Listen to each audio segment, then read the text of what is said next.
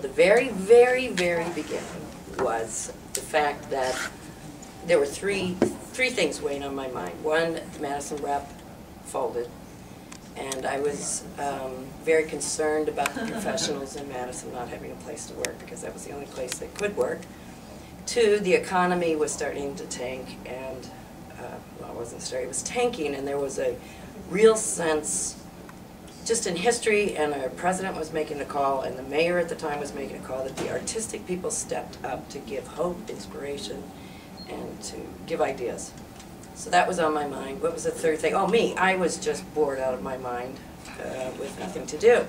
So I kept ranting and raving in my home, and my husband challenged me, so quit talking about it, do something about it. And so my idea was to find a way to start a theater, and I called Mikey to the house and kind of bounced ideas off him, with Sam yelling in the background.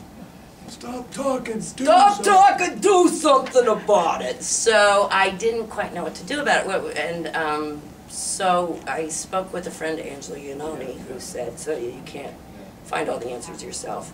Call together your friends and let them come up with the answers. So I reached out to the people in Madison that I knew were professionals and looking for work, and who had been, also people who had been there at the beginning of the Madison Rep and were dear friends of mine, and I called them together for a meeting, and Forward Theater was born at that meeting.